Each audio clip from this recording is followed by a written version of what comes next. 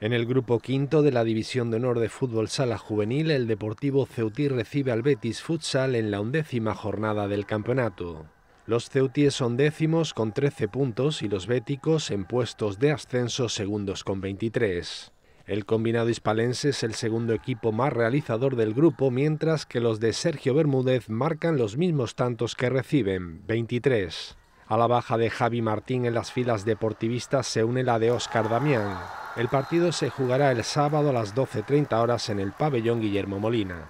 En el mismo grupo el Puerto Atlético encara un partido vital en sus aspiraciones por la permanencia en el duelo que le enfrenta en tierras jienenses al Jaén Paraíso Interior. Se trata de un duelo directo en la lucha por la salvación entre dos escuadras que ocupan puestos de descenso.